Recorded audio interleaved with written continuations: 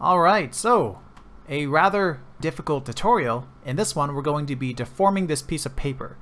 Uh, the majority of the work for this one is actually going to be done in Maya, but we are going to solve what we can in SynthEyes and, you know, set up a rough, you know, little camera scene and scale this up to what it really should be. I got the measurements of this paper. It's standard 4x6 photo paper, but yeah, so this is going to be a rough one. Uh, let's have fun.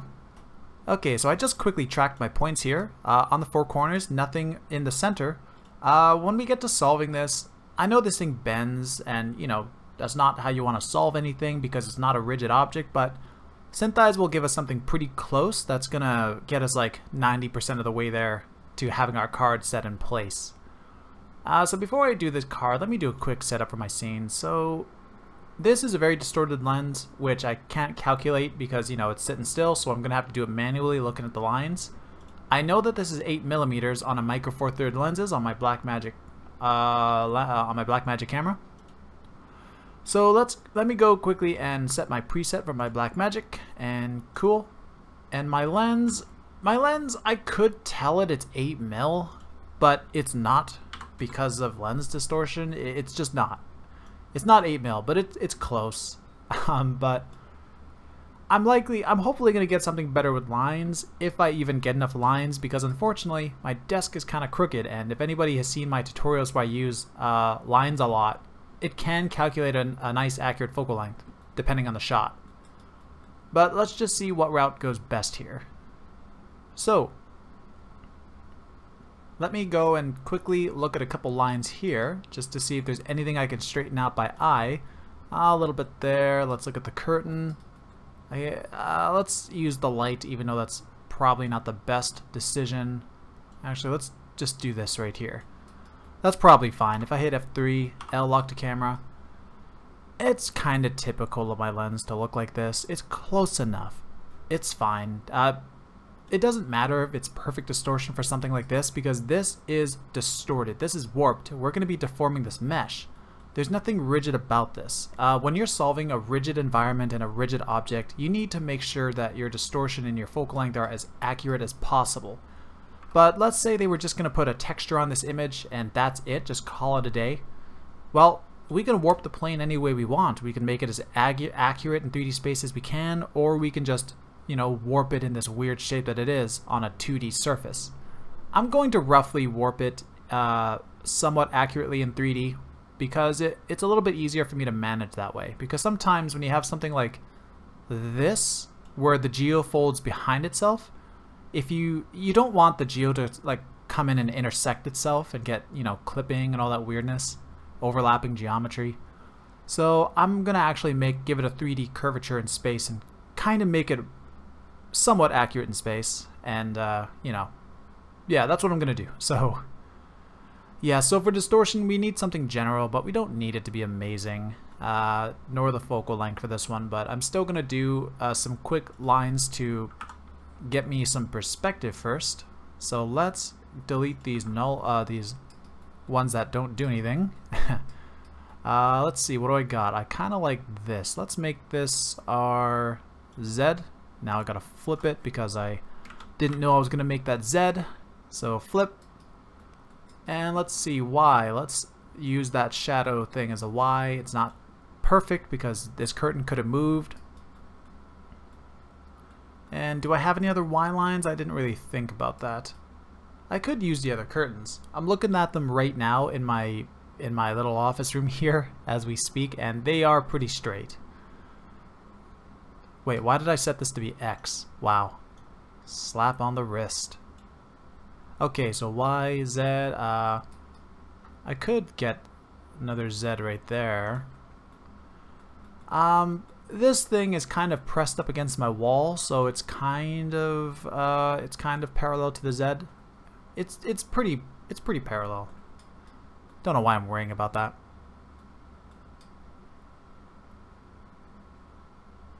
Okay, I wonder. I wonder if I get if I gamma up, if I could see this thing in the back. Let's go to levels. I hit P to open up image prep. Okay, so now I can see this box, which I just had to look under my desk real quick to see if it was up and down. Yes, it is. So we'll try put a parallel line right there. I don't know how I feel about that. It looks kind of... Things look kind of trippy. Oh well. That's probably fine. So let's hit F3 and let's just hit a line. We got two axes. We don't need a third for this really. Alright, so we got that and look at that. It actually did change our, uh, change our focal length. Made it 10. Um, cool. Things look kind of nice over here.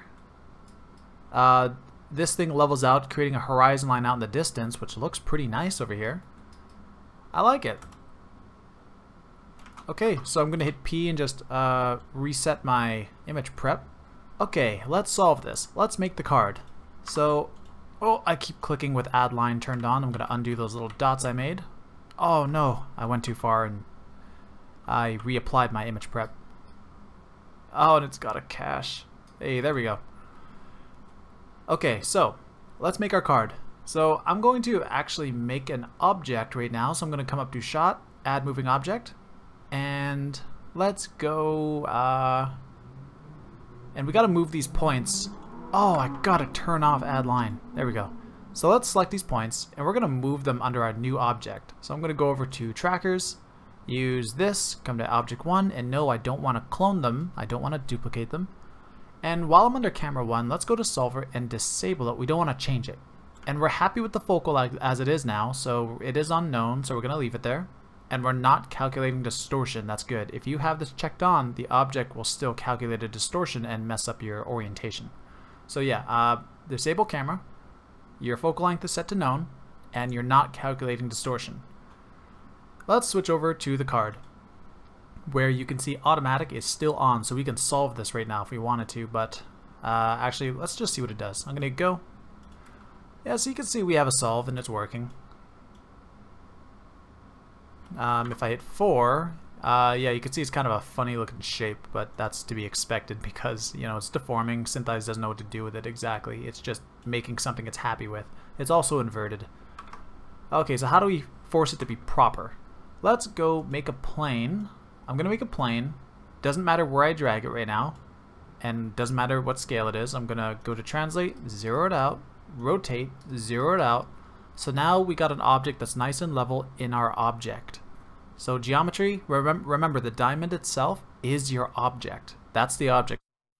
Any geometry you put inside it, try to have it zeroed out and nice and clean within your object like I just did.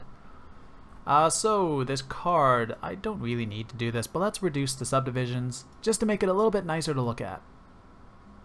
Sure, why not? Alright, um, which way's facing up? Um, that's X, Y, sphere. Okay. Ah, whatever. Okay, I'm gonna go F3 orbit. I don't like how this plane is like. I don't like the coordinate handles having this kind of space. I'm gonna right click, view, local coordinate handles. There we go. Now I can see which way the axes the axis is. Uh, I can't say it. Now I can see which way things are facing.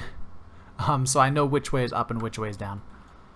So let's start taking our top left here, go to F3, and there's our top left right there. I'm going to place, hold control on my keyboard while I left click because you can see I can snap the constraint around the vertices.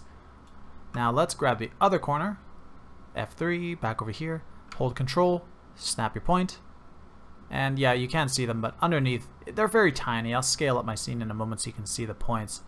Actually, I might as well do it now. Solver, world size, drag it up. There we go, you can see him now. Good for you. Uh, so let's take the bottom left, hold control, click, and bottom right, hold control and click. There we go. So now that we have that, um, uh, okay, I'm back to my solver room. Let's hit F2. I don't like seeing all that other viewing stuff. So when I, if I hit solve right now, it's not going to line up great. You can actually see the inversion now. you could see how trippy it looks. Um, because just because we lock those points doesn't mean that SynthEyes is listening to them. It's it's approximately positioned the mesh as best as it can to these points with the locks on, with their seed locks. But if we wanted to actually listen to this, we have to check off constrain. So sometimes this will work right out like right away. I'm going to solve. Yeah, it didn't work. Okay, I'm going to undo that.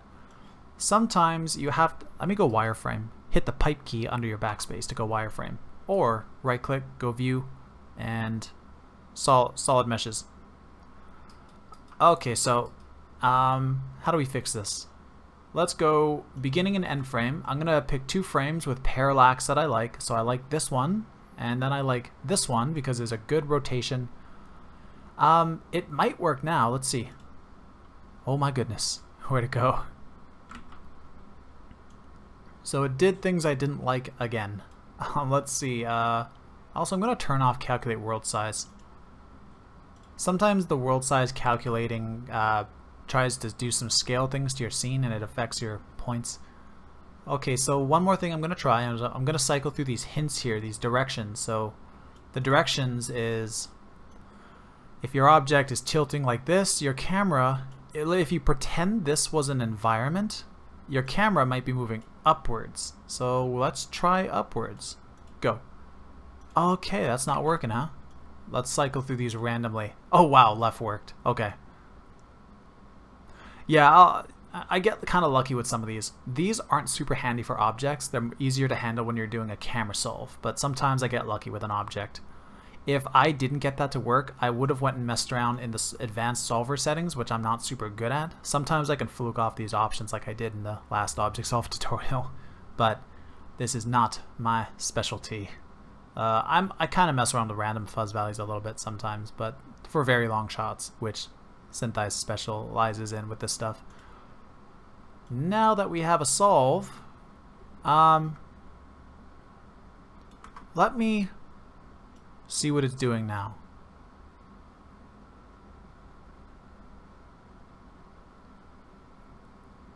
Okay, so I know it's not pushing back and forth in depth like that. So I was going to save this for like a more advanced uh, object solve tutorial, but I am going to re refine the distance of this right now because I kind of want the card to stay at the depth that it's sitting at, not push so far back and forth because I bend it. I don't really move my hands in and out or back and forth from the camera's perspective. This isn't the biggest issue because again we're deforming this in Maya later, but I might as well just knock out that little weird bit. So if you've seen some of my other tutorials and what uh, about the graph editor that I touch on sometimes, you should be comfortable, but I'm going to come over to the object and let's go solve path and I'm going to turn off the color coded color coded background for trackers so don't want to see that and hide everything but the path. So let's see, the path right now is moving on the Z axis and that's what I don't like the most. So let's look at Z and here, if I watch my hand motion, see I move it back a little bit. Not really though.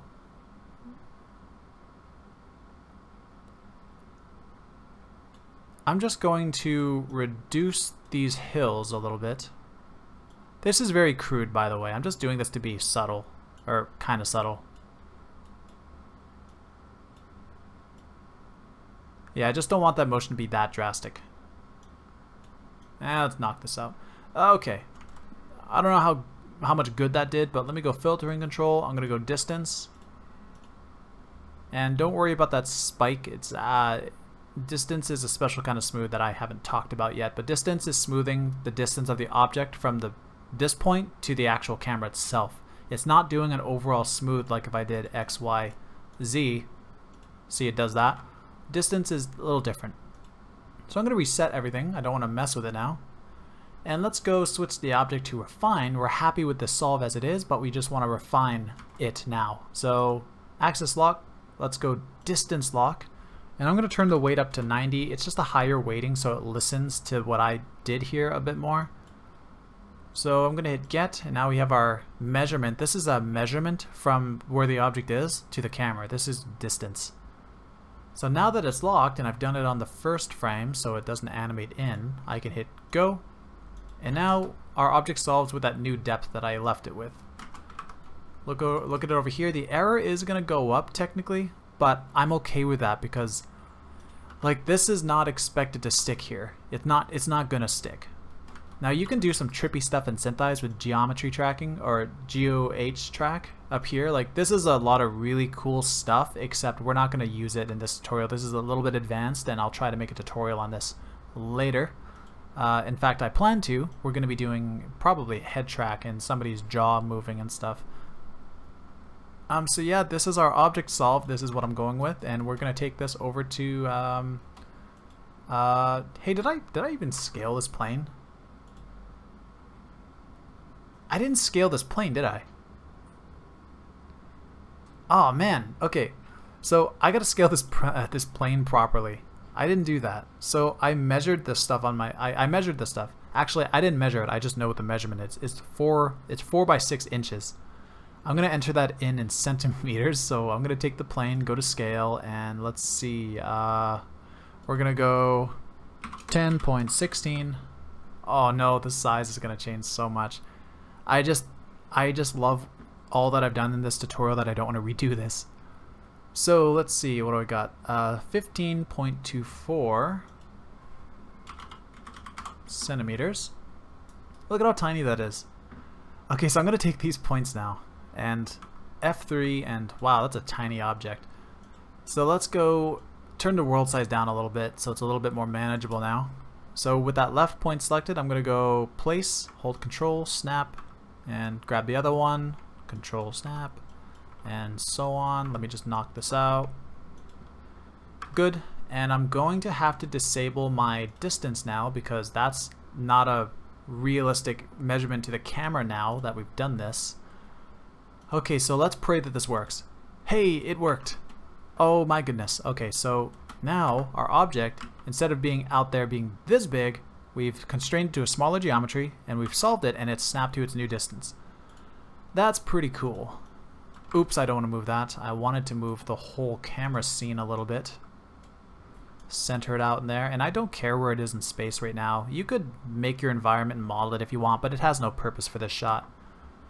So at this point, um, I don't want to do the smoothing again, so all I'm to do is you you know you you've heard my reasoning for why I might smooth it manually like I did.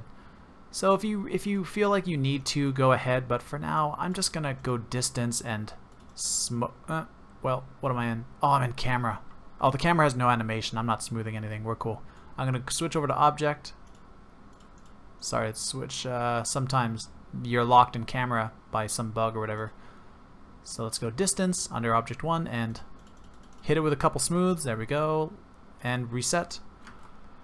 Okay, one more time. Axis locks, distance, get. There we go. We got our distance loaded in. We got our distance lock on, and our dist and our weighting is set up to 90, so it's kind of high. Uh, and let's hit go. Did our error change? Yes, it did. So our solve did adjust itself. And here we are. That is our final solve, yet again.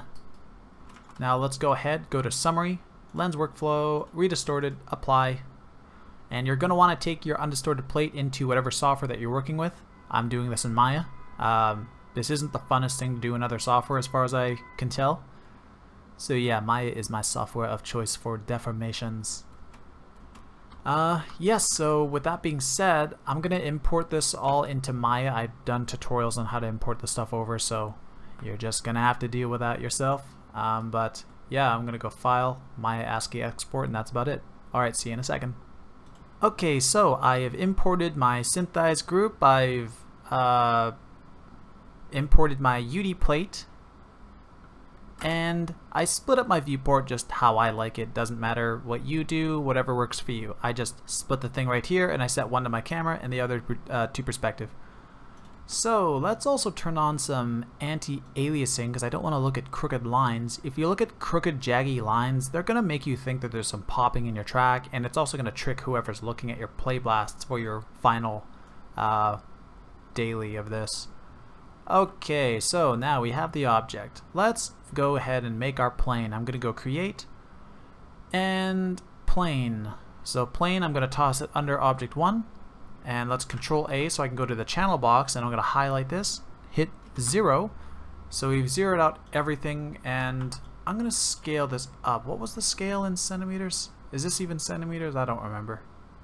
I'm going to cheat and I'm going to go 6, 4, and then I'm just going to scale it up to my locators. Doesn't matter if it's a perfect fit at all for a shot like this because we're we're we're warping this. We have to warp this geometry. So it doesn't matter what's going on here. So with that being done, I'm going to take the subdivisions, if we go to our inputs here, and turn them all the way down to nothing, because we are only going to work with the lowest possible division level we can, which is this. and I don't need this input anymore, because we're not going to adjust the subdivisions using this anymore. So I'm going to hit Shift-Alt-D, which clears our history. And also, just so I can see things, uh, you could hit 4 to go into wireframe mode and hey, you can see it now. But it's always a better practice to stay in 5, stay in shaded mode, but apply a use background shader. So right click, assign favorite material, use background. And now um, there's benefits to that shader and I've talked about it in other videos so I'm not going to show it off here. But now we are ready to start messing with this paper and yeah, I'm going to use a mixture of joints and clusters on this shot.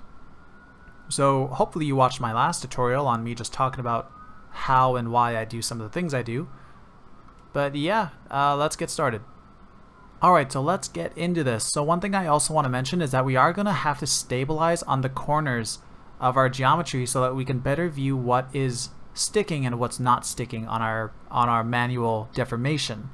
Uh, the same way that in SynthEyes you can take a tracker and lock onto it and monitor what it's doing, we're going to want to do this with our, with our geometry.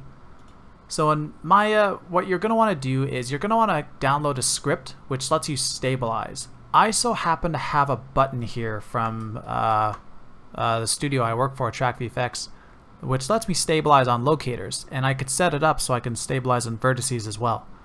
But you guys won't have this button the same way. So what you want is uh, HK Tools. So HK Tools uh, is a is a site that you can come to. Uh, this guy made an awesome set of scripts and tools for Matchmove. Uh, you've got like stabilizers, baking tools, and some constraint stuff. Uh, you can see the stabilizer here at work. This is very easy to install, I promise, and there's good instructions and documentation on it. Um, yeah, so when you download it, it's really just a drag and drop onto Maya's viewport if I remember correctly. But yeah, please get that because I'm going to use the stabilizer here. And yeah, I'm going to use this when I get to that point. So uh, for now, let's go ahead and start messing with our plane. So for this plane, I talked about clusters a bit, so we could take these, take one of our vertices, spacebar, deform, cluster, and then start to, oh, why'd my wireframe? My wireframe went away because I'm not selected on my plane. So to make it appear always, come up to wireframe unshaded. There we go. So now, if I move my cluster, you can see we can nudge this around. And the idea is throughout the shot, we're going to be nudging our main corners into place per frame. It's kind of like manual tracking and SynthEyes, so there isn't too much time lost, honestly, on this process. Um, so I have the choice of working with clusters or joints for this. And I if if the paper didn't rotate as much as it did, I would use clusters. But I rotate the paper, so if I go here, and you can see when I move the cluster, that vertex moves in a different orientation. There is a fix for this that I sometimes do, is when I key or mess with this point, I might do all the adjustments on while the paper is at this angle so I've done all the adjustments there and here I would take my locator and I would zero it out. Or sorry, take my cluster and then I would zero it out. So it kind of has a fresh a fresh point over here. So now I'll make another cluster on this. Reason commands, create cluster. And in this cluster I'll make the adjustment and then I'll go back to this other last frame where the other tracker was uh, still doing stuff or where the other cluster was still doing stuff which was what frame 7. So I'm going to go cluster 2 on frame 7 and zero it out. So now it's back to the command of the other cluster. So it kind of has a little blend in between. And now from this angle, it's easier to manage again. So that's kind of like not like the most amazing way to deal with things, but uh, it's quick. it, it's a lot quicker than setting up a rig and whatever. But for this one, we are going to uh, kick this off with joints. But, you know, that is how one corner is done. But I'm going to delete these because I'm not going to start these initial corners with, uh, with clusters. I just have to show that. But now uh, let's take this plane and I'm going to duplicate it. We're not going to rig, we're not going to apply joints to, we're not going to apply joints to the plane that's under the object. I'm just going to make a fresh one, zero it out. Oh, did I freeze history and all that stuff up here? Oh, I didn't take it out from another group. Shift P, now it's in the world space, and I can zero all this out. And if we look at the bottom, there it is. So this is what we're gonna apply a little uh, system to, a little a little rig, cheap little skeletal thing to. So I'm gonna go to uh, quad view because uh, it's just easier. I'm gonna hit Shift I on the top view so I only see that and not the geo hovering above. Alright, so how do we make joints? Space, skeleton, create joints. I'm going to go through this very fast because I've showed it off already. So I'm going to make one joint in the center. That's our root. And I held X to make it to snap it to the grid. So I'm going to now come to the top view here and I'm going to start making, actually let me change my viewport color. There we go. Let's hide the grid as well. So I'm going to start making joints at each corner. So I'm going to hold V there I've snapped one, and now if I try to hold V and snap other places, you see the joints are continuing in a way that we don't want it to. We want them all to stem out from the center. So now that I made that, you can hit up the up arrow on your keyboard, which moves you up the hierarchy in your outliner. So right here, I, I was on this joint, and when you hit up on your keyboard, it moves you up to here, where you can now make your other joints See that? And you branched off of that last one. So I'm going to hit up again. You can see it moved up. Hold V. Move up. And hold V. There we go. Now we have uh, and we have joints here all at the corners. So I'm also going to select this main joint, go to Control A so I can get to the attribute editor. And if you come over to draw style, we can set to none. And now all we are left with is these endpoints so we don't have that mess to look at. But see we can move everything with the root joint, which this is what we're going to constrain to our uh, to our object track. Alright, so I'm going to select our I'm going to select our geo and our skeleton, spacebar, skin, and bind skin. So now, if I take some of these, you can see that they're influencing the plane, but not perfectly because the joints are just it's doing its job. It's just a, uh, this isn't really a typical way you'd want to rig something like this. But uh, now we want to paint the weights of this plane so they're stuck perfectly to those points. So I'm going to highlight the plane. Well, I guess I didn't need to highlight it, but right click, paint skin weights tool. And here, I'm going to select, so you, you can select your joints now, and you can see the influence. It should be like full white. Uh, is it white? What's the colors? Oh, it should be like red. Oh, no, it should be white, yeah. Okay, so let's go with the hard brush and go paint. There we go. And we're just going to do that for the other trackers. There we go. So now if I get out of that paint mode and select our joints, move it around, now you can see our plane is moving. And when I select the root, I can move this at all angles, and now you can see that the, you know, the controls actually do what they're supposed to do, uh, not like the clusters. So I undid that and let's go ahead and snap this into place.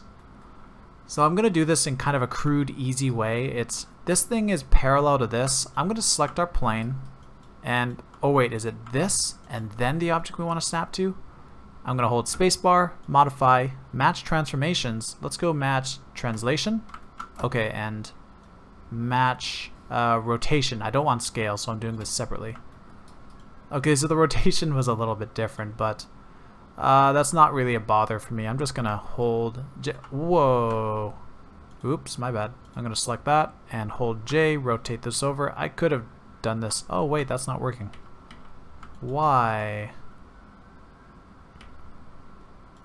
Okay, why didn't that work actually? Why is J not giving me that as it should? Oh, it's not even snap. Okay, what did I do wrong? So let's just do it like this.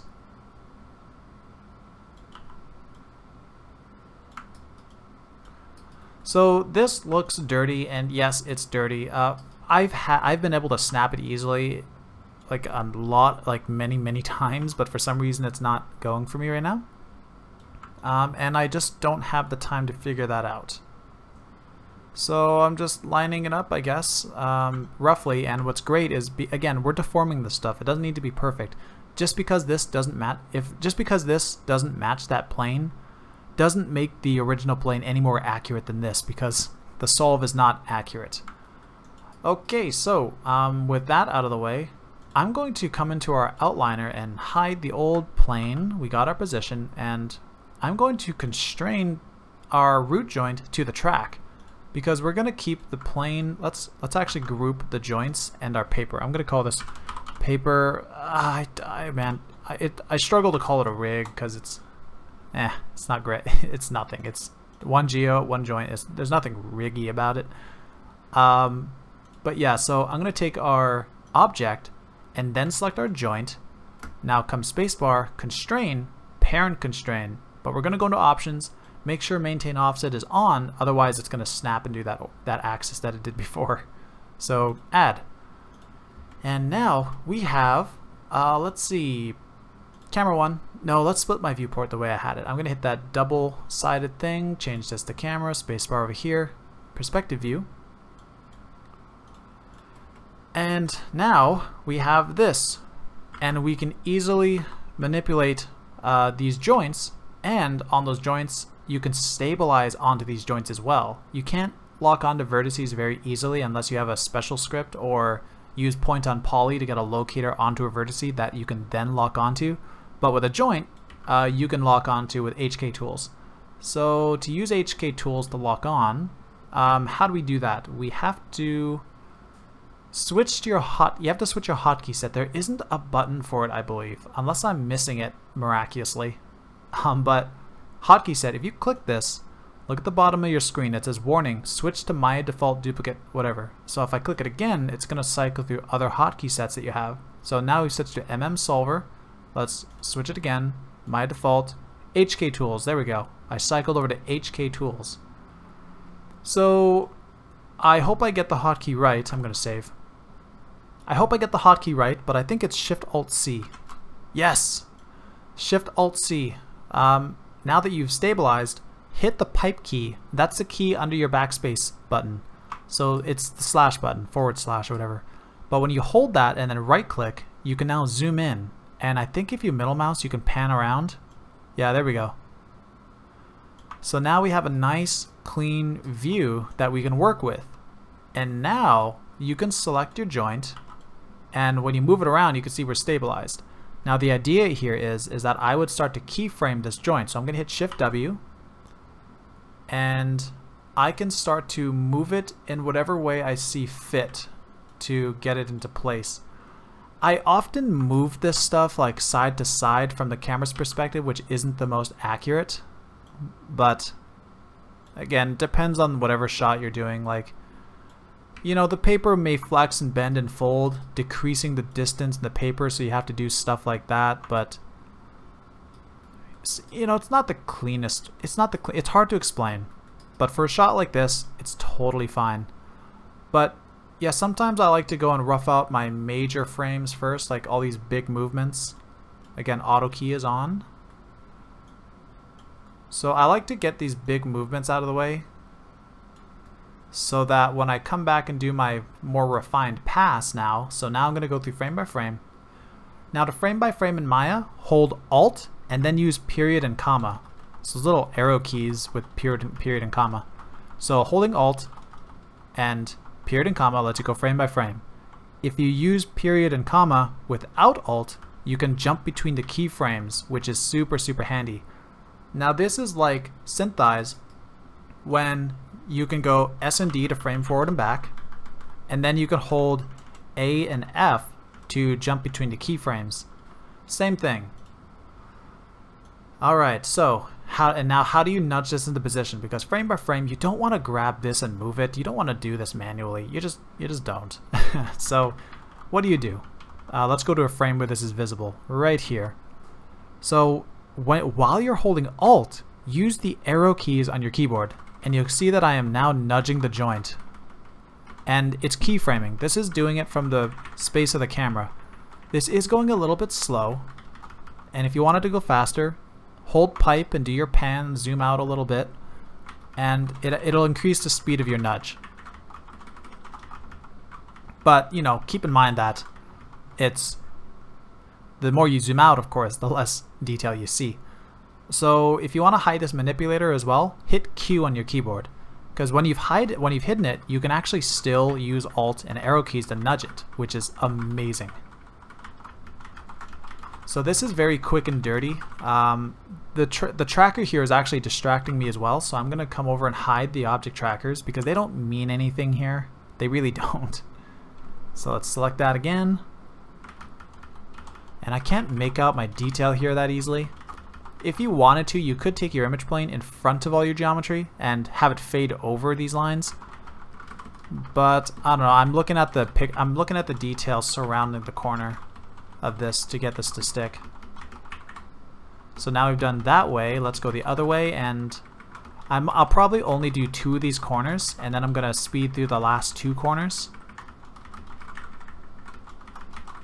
And let's see if I could think of anything else to talk about. I cannot, but if you think that this is a long process, just again, keep in mind that sometimes tracking and SynthEyes requires you, you to guide that tracker for every frame, sometimes across 300 or 1,000 frame long shots.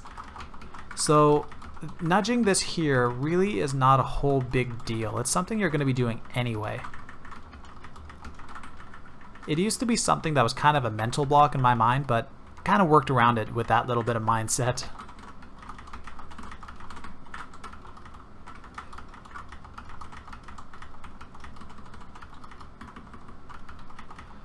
Okay, so now that we have this, um, we can hit play and see what it's doing.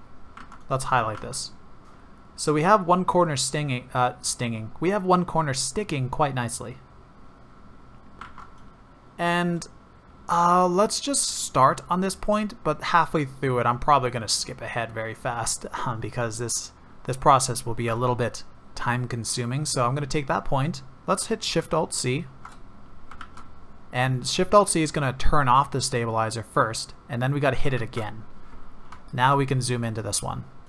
And I'm just going to key it with Shift W, uh, Shift W, and now let's move it down into place.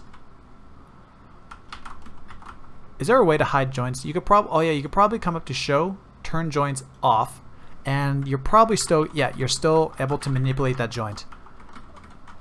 I forgot about this. It's not very often I use joints because a lot of objects are easier and don't change their rotation to the camera too often, so I end up using clusters a lot. So I'm going to keep mind of what I just did here.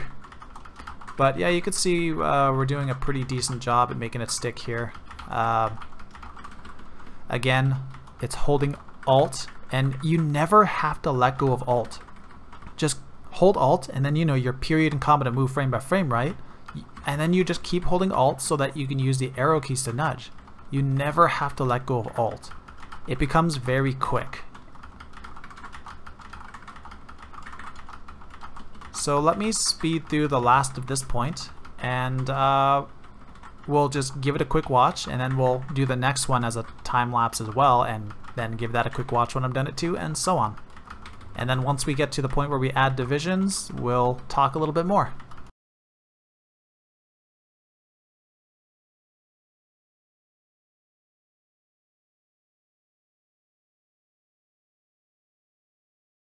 You'll notice at the start I actually forgot to block in my major frames like I said I would, which means now, now whenever there's an extreme movement in the corner, it takes a while for me to nudge to it. So I'm, I kind of shot myself in the foot, like right here. I gotta, whoops, I grabbed one axis, which was not good. Let's move this. Yeah, so I kind of shot myself in the foot doing that, and it took a lot longer. let's just make sure there's no like major movements up here. Okay, not really. So now I can finish my last few frames, and it's so fast that I might as well talk through it. Actually, maybe not. Let's... Oh no, I've got like a couple frames left. You can sit and watch. You're patient. You have nothing to do. Let's be honest. If you're sitting there watching a match move tutorial, do you really have anything better to do? Build your career? No. Alright. Uh, so now we have... okay. Now we have two corners sticking really well. It looks awesome. Um, yes. So now that we have that, I'm going to save again. Save after you every major milestone, for the love of God. Um, I am so bad at remembering to save. Okay, so now Shift-Alt-C to get out of that stabilize, and yeah, it's looking awesome. Again, looks really cool. And I'm going to do the other points really fast.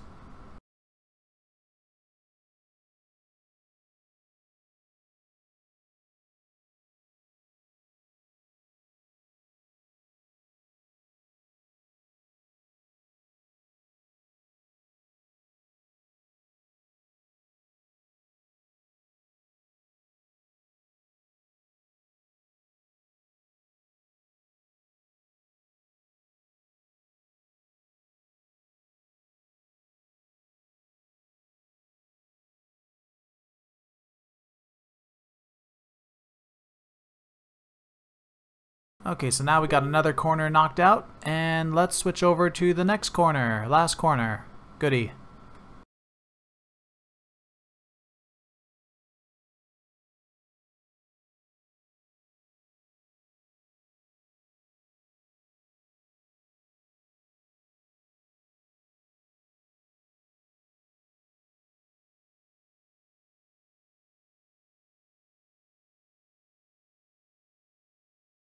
I too want to take a, a, quick second to talk about how when the paper gets bent, like this edge and this edge could be contracting towards each other, or sorry, I meant should be, but of course I did not warp it that way.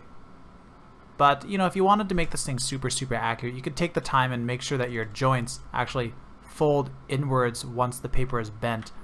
But not the level of detail I really want to put into this video, because again, this this is a hard thing to do. Um, it takes a while, and I don't want this tutorial to be days and, and, days because you you can understand that if the paper shrinks, you can move your joints inwards, and that that's your major keyframes.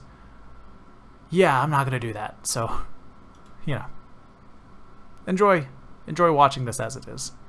I'm almost done at this point.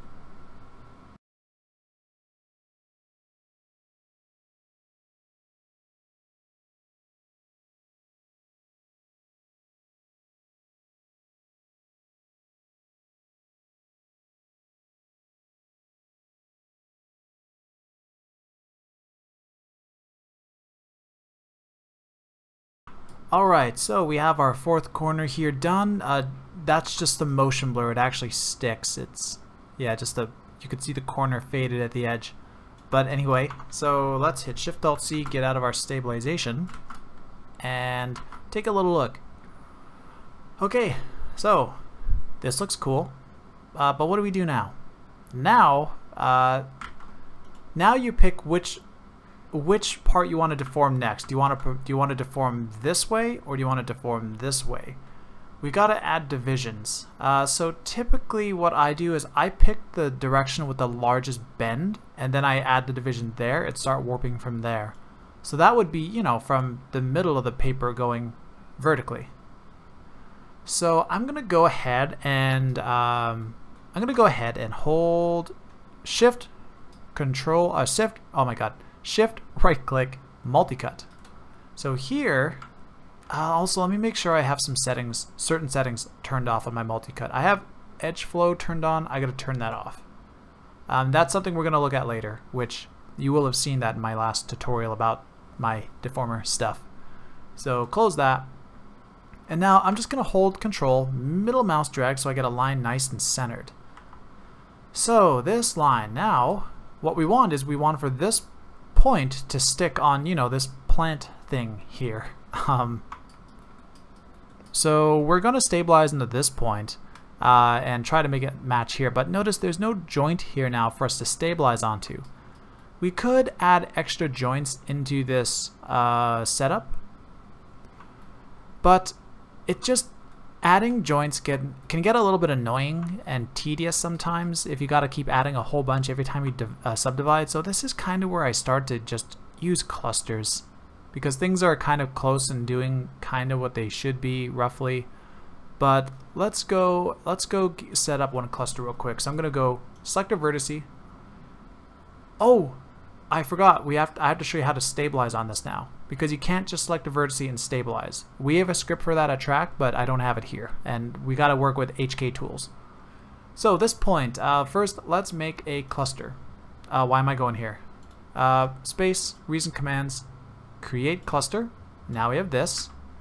And now we also want to make a locator, which we can just snap somewhere close by. Somewhere close by. Uh, now I can, with that selected, hold shift, whoops, sorry, Go to vertex mode over here, select your point, and then shift select your locator. And now space, come to constrain, go to point on poly. Now your locator sticks, and you can now hold shift alt C and stabilize onto this locator. And it works the same, but this locator is a little bit irritating to look at, so I'm just going to come up to show, turn off locators here. And yeah, now we got really the same result. So I can take that new cluster that we made. I'm going to minimize our paper rig stuff. Um, yeah, so now I can move the cluster around and I'm stabilized on that point. So I'm going to go... Duh, um, so let's try stick it to this plant now. We'll knock out these frames at the beginning of the shot. And this seems like a lot of work because you're probably thinking, uh, but I gotta subdivide all of this stuff now and go through and go through every single point each time, you actually don't. Uh, you don't have to, and this gets easier the more divisions that you have, because the motion will keep will continue to interpolate between them all.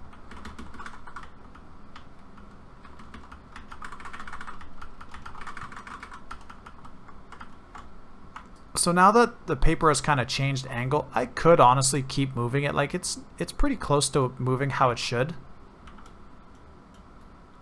In fact, I think it's moving exactly how it should. This might be a consequence of the rig. Um, I've seen this before.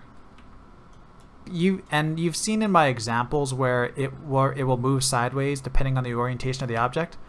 I think that's nulled out with a rig now, come to think of it. So this might be good. I'm actually going to keep deforming this just like this. It's working.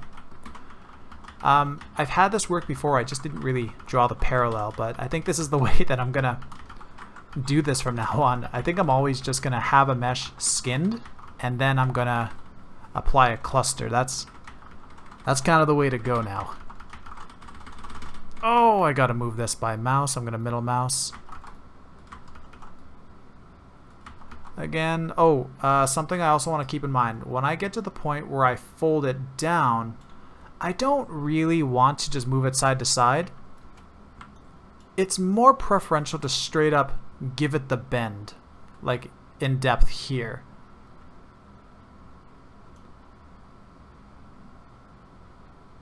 So I'm going to just carefully make sure I try to move it parallel to the paper. And I gotta get it over to this thing, so let's move it down, down, down. There we go. Now go back and watch it. So between these frames you can see we have the bend, but now it slides in the middle. So we can go frame by frame and just nudge it into position and your tracker is always going to head into that next keyframe that we went ahead and placed. And that's a little bit rough. Let's move it over here.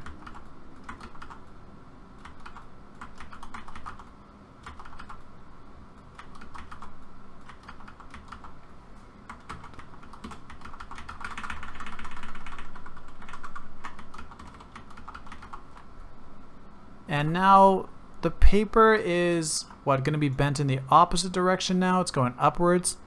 So let's go to the side here and move it all the way up. And we're moving it kind of outwards and we shouldn't, so let's bring it back that way. Make sure it's nice and clean. And make sure that it's going to land on that on that area right there. So let's go level it out just upwards. Did I bring it out this way a little bit? Yes, I did. Okay. Wow, that actually worked out pretty well. Just trying to keep it clean. Okay. So let's go back to the other frames now and make sure that it stays in that spot as it bends to that new keyframe. The motion blur is getting kind of intense. Some people might think you need to spend time like really figuring out figuring out what that is, except it's motion blur. Nobody nobody knows what's going on. But that being said, still try to try to find its position as best you can. You could still kind of make it out. You can see the overall motion.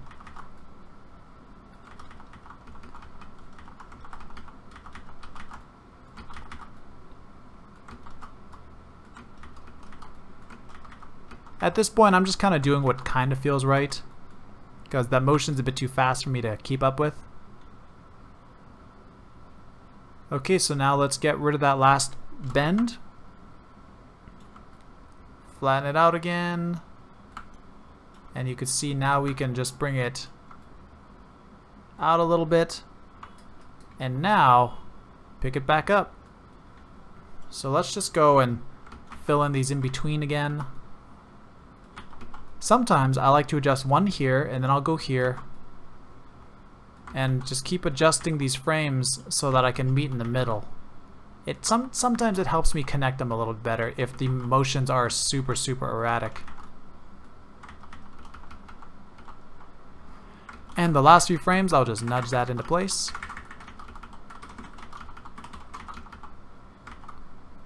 Alright.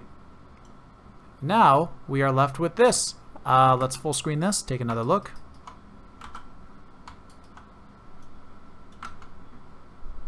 Wait, did I mess up a part? One part felt funny. Oh, not really. Okay. And let's just unstabilize, just, just for the hell of it, so we can take another look at this for fun. It's looking pretty cool. Alright, so I'm going to speed through that last point. It's the exact same thing as that, so yeah, you're not going to miss out on anything.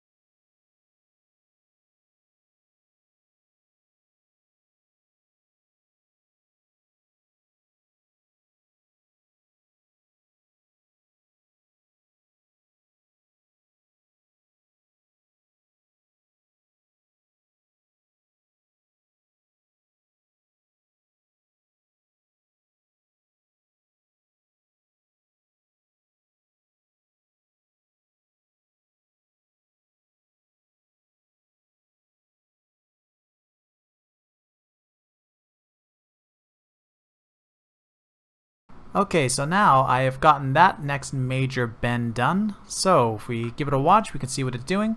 I also want to point out, in case somebody wonders why this doesn't look like it's sticking right here, it's it is, it's just, it's hard to see, but there's a faint line here, which it's in the section of the motion blur. It's just because the background is so blown out, but you always want to stick to the center of the motion blur, period. Um, okay, so let's turn off the stabilize. Shift Alt C and pipe key to get out of pan 2D zoom. And I'm gonna delete that locator. The HK tools thing always creates a locator. Oh wait this wait never mind. I did this. Haha that's embarrassing. Okay um so we have this. I don't know how much farther I need to go to to further demonstrate you know what's happening but at this point you've learned everything. So really you do the same process. So if pick the next thing that bends the most, maybe it's maybe it's the horizontal angle of this page or maybe it's more vertical because look at you know you can see the curvature. So we can add more and I can hold multi-cut and there we go right? We've added more geometry that we can now add another cluster to and keep warping. Um, something we could also do is we can go into multi-cut uh, whoop Okay, let's go into object mode. Now shift right click multi-cut options. And we can turn on edge flow, which now if we make a make a poly, you can see it rounded out a little bit. And I'll do the same on this side, and it rounded out a little bit. So edge flow, it's going to keep calculating the angle of your faces and whatever, and it's going to fill in. So these edge flow points are now doing half the work for you.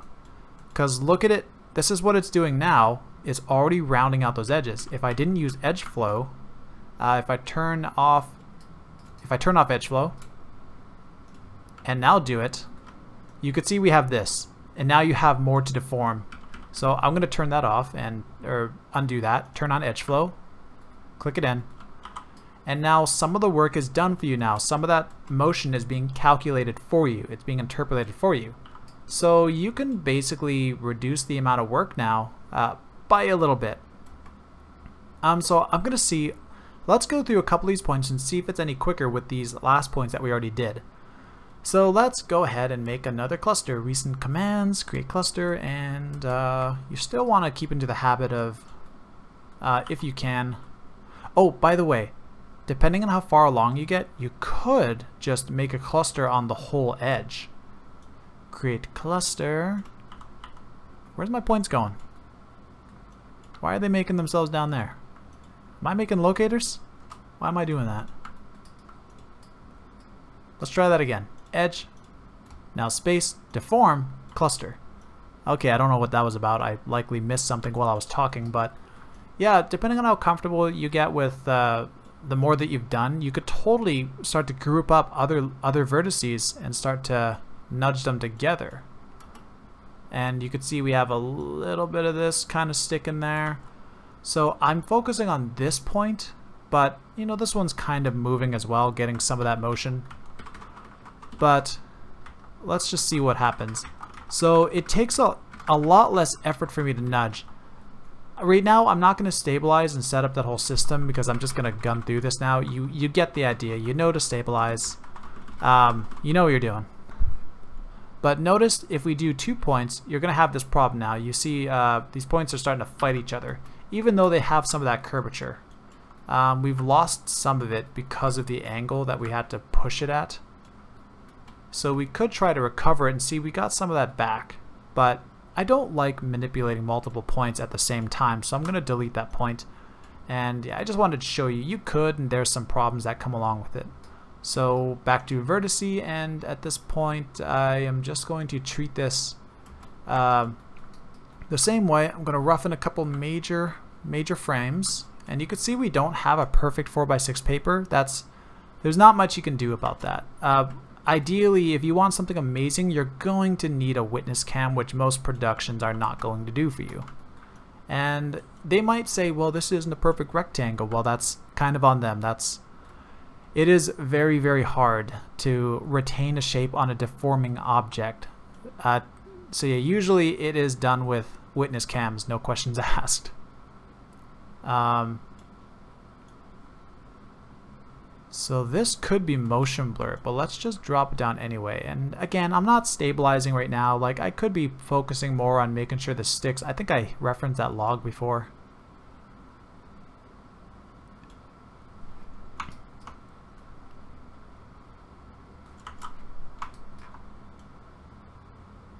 So, you know, we kind of did a point there just to be quick and sloppy and dirty. Um, let me do a couple extra of these points, just very fast, and then I'll get back to you.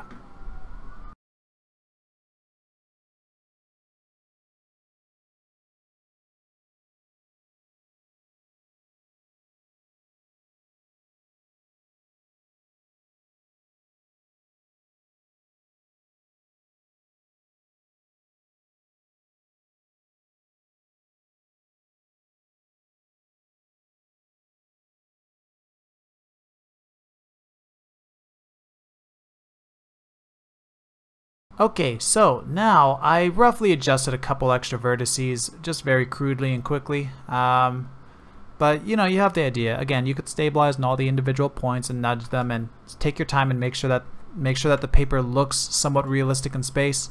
But again, this method, you're not gonna do, you're not gonna make magic happen. Like all that's all that's required is the general shape. Most types of shots in VFX never require that you go 100% accurate with something like this because you can attach characters' hands to this and all that stuff if you need to.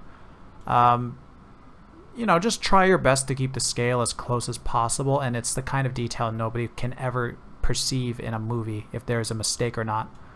Because uh, smoke can interact with this, you can have some CG like little particles bounce off this page as it warps if you, you know, since we've kind of made it in 3D, and you won't be able to tell like if there's anything wrong at all.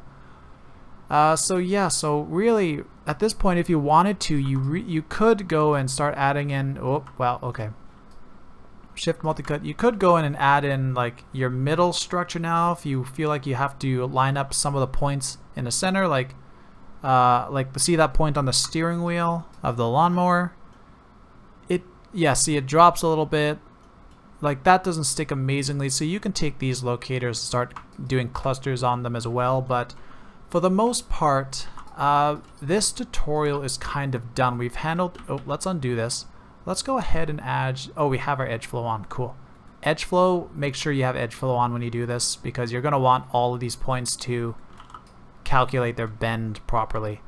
Okay, so as far as I'm concerned, we might be done this for this tutorial. You could spend a lot more time on it and, you know, get the middle to stick, but even something like this, if they, if if your leads or whoever, your supervisors, told you that they were going to replace this page fully in CG and not just texture this, I mean, this is fine too because this object is bending really close to the image. So there might be a discussion to be had about something like this being good to pass through or yeah, you got to spend some maybe they're going to put an image like comped into this photograph. So that so that means you might have to focus on an area and make sure that sticks 100% yeah, there's a lot of ways that this can go, but for the most part, this is um, this is done. Let's just give it a color.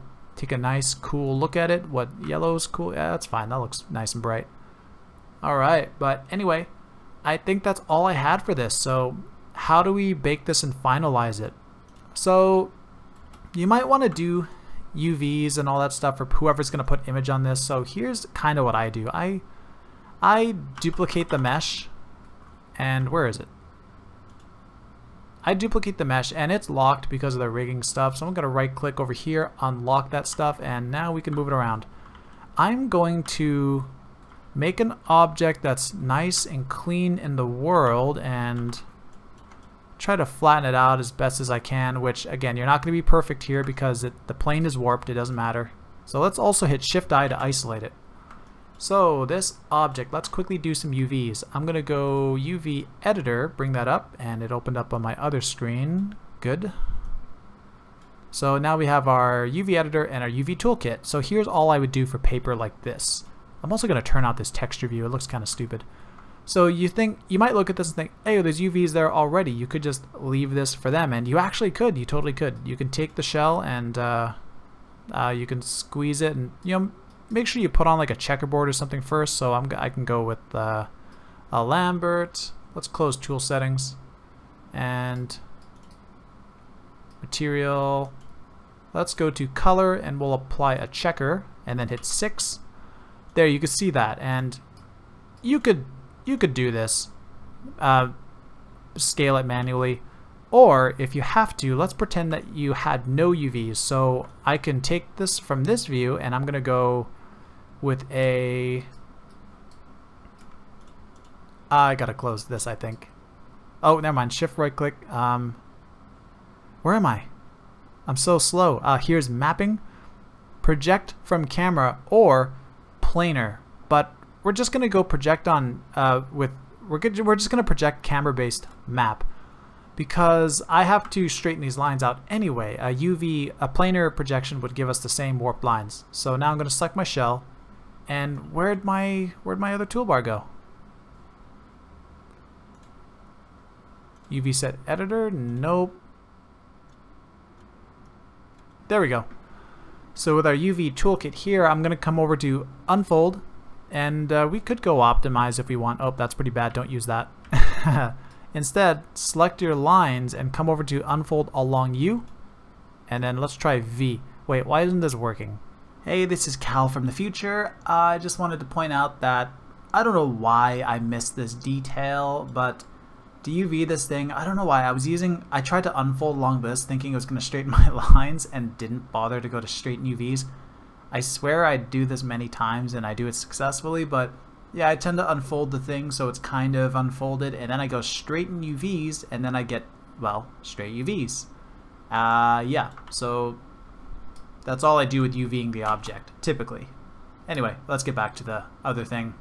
So I messed around with stuff, and for some reason, yet another thing that I've done a hundred times is not acting as predictably as I would have hoped. So if you're good at UVs, that's cool. Make your awesome UVs for this, but these these UVs are pretty straight, and they follow the parallel lines.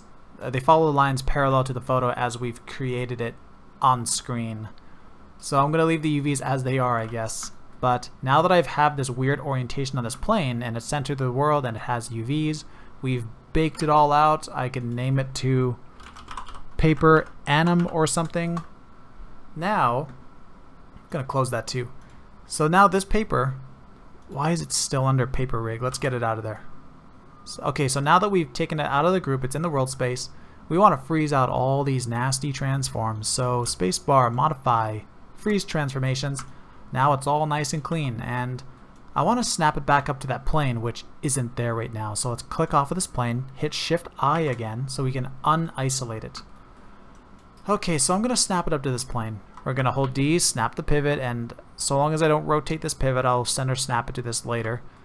But let's just snap it over here, and then we'll rotate this into place. And I'll be honest, this is actually a common thing to do, to manually rotate some things, because match move, you have to do a lot of weird, weird stuff to get things to work, because match move a lot of the time is a lot of cheating because we're never given enough data to accurately solve or warp shots as they should be. And then people you know scream at us for not being able to do a 100% job. But it's actually impossible for many many shots. So this is honestly close enough like really really close. I could spend all day. I wish my snap worked. Um, I don't know why it didn't but somebody might have figured out how to make theirs work and they're just laughing. They're golden because they got it somehow. And let's see, last little bit, sure, whatever, okay. It's pretty close. So all I'm gonna do is I'm gonna select our our new plane, our new geo, and our old one. Let's go spacebar, uh, deform, and wrap so that it's gonna follow the motion. But if I scrub, Oh, it does stick. Cool. I didn't think it was going to stick. Sometimes, depending on your setup, you might have to also do a parent constraint of your new object to your old one, depending on how you move your stuff. Because if I move this rig, you can see that doesn't work, but the wrap still works. So yeah, it depends on your setup. You might have to parent constraint and wrap. But the point of that, I'm going to hide my paper rig, save, and the new rig, I can now just go to spacebar, edit, keys, bake simulation, go to options, Make sure control points is checked on, hit bake, and now I'm gonna save again and uh, usually I don't delete the stuff until I'm in a new file but I'm kind of comfortable right now. I'm gonna delete all of this take this camera you can do a camera bake. Again I have some buttons here that you don't have but you can go to HK tools come over to bake camera. Yes bake it and the look trackers, I don't have any trackers and my object's useless now, so delete it. So now we have our paper and our camera. So I can go over here, let's go use background. And you could see we have things working as they should. Um, my image plane is not cached now, I believe. But yeah, we could have spent some more time in the center, of course, but I'm not gonna. That is a lot of work, and uh, it's not worth my time to do it for this tutorial, unfortunately. But you saw everything that I that you need to do to achieve this and also on how to go beyond it. Yeah, so that's about it. You can deliver that to a client, give them your camera, your scene, whatever, and yeah, you're laughing. So with that being said, hope you stuck around for this entire tutorial. It was very tedious, and I applaud anybody who actually goes through with this and appreciates the really janky method that I've made. I don't I'm certain many people have like do it like this as well. I just haven't gotten to meet people who have because most studios provide the geometry and the seniors and people who I'd love to talk to are all employed, so I've never seen them come by wherever I am. But yeah, hope you enjoyed and have fun warping things elsewhere. Yeah, later.